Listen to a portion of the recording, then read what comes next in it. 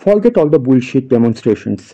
Pressure points just the anatomical weaknesses of human body and every single martial art style has it to some extent. In rear naked choke, people press on carotid arteries that cuts off the blood circulation to the brain.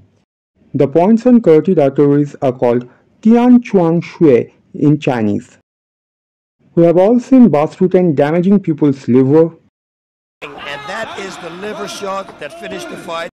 The point on the liver is called Chonan Min Shui.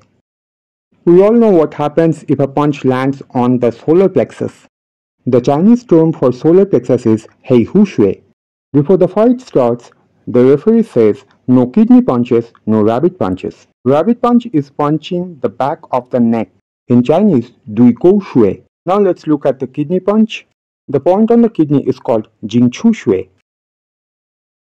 Also, every movable joint of our body like kneecap, ball and socket joint of shoulder, and elbow joint are considered as Dim Mak or Dian points. Also, the soft targets like eyes, throat, and of course groin.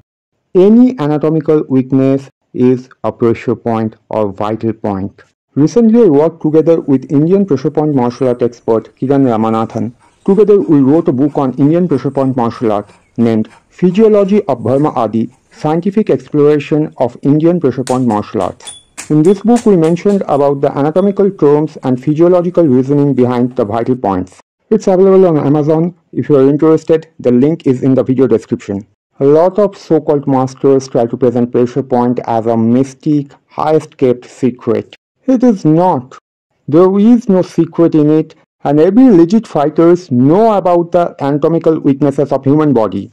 And it doesn't matter what you know. All that matter is what you can use under pressure. Wake up guys. In order to be a fighter, you just have to work hard and really hard. So enjoy your training and all the best.